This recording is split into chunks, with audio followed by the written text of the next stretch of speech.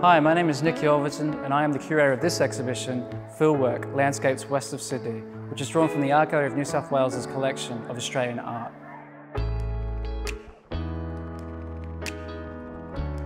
Fieldwork surveys the wonderful tradition of plein air painting west of Sydney during the late 19th century. It also looks at how this tradition endures into the 20th century and how it's impacted by the First World War and the influence of modern art from Europe. One of the highlights in fieldwork is Elioth Gruner's three masterpieces, Morning Light, Spring Frost and Summer Morning, which were painted at Innes Farm near Emu Plains between 1916 and 1919. Gruner rented a modest two-room cabin on the farm so that he could wake up early in the morning and paint his subjects swathed in golden morning light.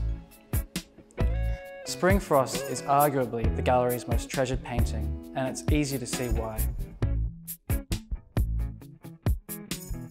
Gruner's impression of a chilly farm scene is a beautifully painted image of rural life in plenitude. I particularly enjoy how Gruner has deftly painted the shadows in the foreground which have been cast by the peppercorn trees and the farmhouse. I also enjoy how he's painted the light that silhouettes the cattle and the farmer here in the foreground.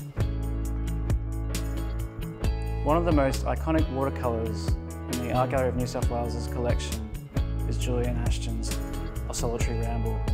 It is a must-see work in the Fieldwork exhibition.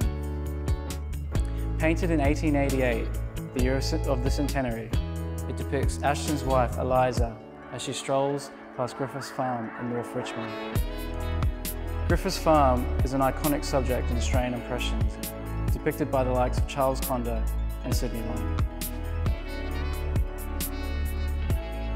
One of the most significant works in the Fieldwork exhibition is Hilda Rix Nicholas's painting Through the Gum Trees Toongabbie.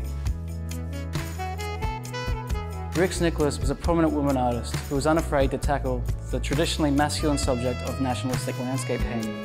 She famously described herself as the man for the job.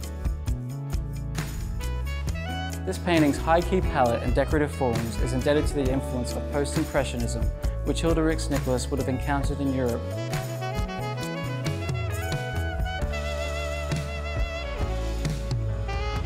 Come see these iconic works in the Fieldwork exhibition at Maitland Regional Art Gallery this summer.